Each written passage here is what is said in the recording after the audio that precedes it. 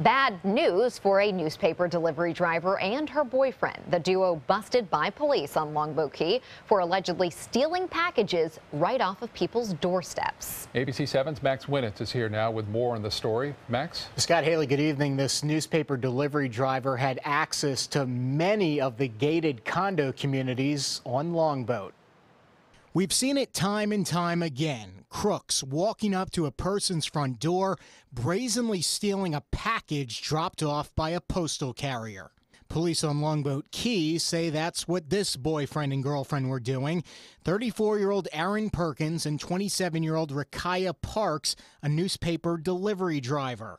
We created a, a, theory at some point that uh, we, we had uh, newspaper carriers and that kind of thing coming on the island uh, in the early morning hours and essentially going into all of these uh, condominium complexes. Police believe several complexes were targeted, including the Tangerine Bay Club, where George Allen works as the community's maintenance supervisor.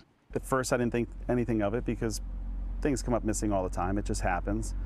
But after uh, three or four residents came up uh, with their concerns that there were missing packages, I told them to call the Longboat Key Police Department because it was more than just something lost in the mail. Police say they discovered at least 10 stolen packages from the couple's home containing items like linens and cooking utensils. What we always uh, suggest uh, are to have the um, parcel companies, whether it's a UPS, a FedEx, or US Mail, not drop it off in a publicly viewable place, someplace where anybody can see it as they're walking by. It just, it just offers a, a potential criminal just that much more opportunity. Allen hopes this will be an opportunity for these alleged thieves to learn a lesson as they sit in jail. Everybody makes mistakes. I hope they learn from their mistakes, and uh, I think, uh, well, hopefully they will learn and it won't happen again.